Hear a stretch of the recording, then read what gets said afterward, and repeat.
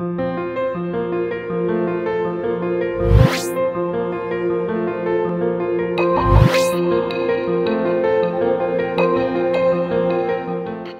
my friends, to a new episode of Connect Your Speech. Well, in this episode, uh, we're going to talk also about assimilation, but we're going to talk about another tendency related to assimilation in English language. And this tendency is the t plus y sound. Now, in this tendency, when the t sound comes at the end of a word, and then it meets the yes sound at the beginning of another word, what happens is that the yes sound changes into a sh sound. How, how does this happen? Let's first talk about the t sound. Actually, the t sound is a voiceless sound. And when I say that it is a voiceless sound, it means that the vocal cords don't vibrate and if you want to know exactly what I mean by this, you can compare the t sound to the d sound and try to touch this area with your two fingers and pronounce the two sound. You will notice that there is a kind of vibration in the d sound, but it's not there with the t sound. Now, the t sound is an alveolar sound. And when I say that it is an alveolar sound, it means that your tongue goes to the back of your upper teeth, this area. So say it, t, t, t. You will see that your tongue goes to the back of your upper teeth. And this part is called the teeth ridge, the alveolar ridge. Now, the t sound is also a plosive sound. That's how we pronounce it. And what does a plosive sound mean? A plosive sound is a sound that requires a full stop in order to pronounce it. Like, look at this. I'm going to stop the air coming out from my lungs to pronounce the t sound. So I'm going to say t, t. So what did I do? I stopped the air and then I released it. That's a plosive sound. We call it a plosive sound because uh, there is a kind of a plosion when you're pronouncing it. Now, the yes sound, as we talked in the previous episode, is actually a voiced sound. The vocal cords move. It is also a palatal sound. It comes from the palate. And it is an approximant sound.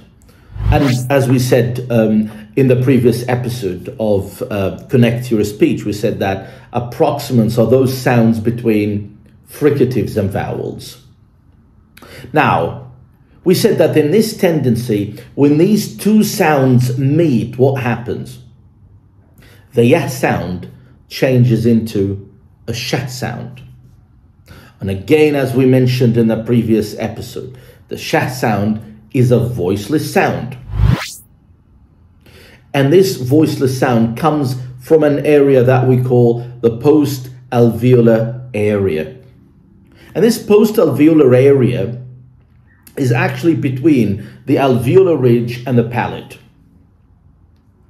And it is actually a fricative sound. How? Because look, you say shh. That's a friction. That's why we call it a fricative sound. Now, let me give you some um, examples. And a very famous example is got you.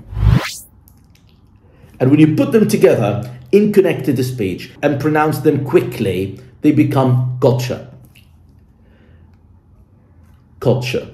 Let's listen to some examples. Let's go to an American speaker and see how they would say got you in connected speech. Let's see that. But the other thing they did was when they got you there. Oh, look, it says, got you there, got you there, got you there. Now, another example from a British speaker. She was looking at me and it was like, I've got you, I'm watching you. Oh, there's a power. I got you. Ha ha. Right.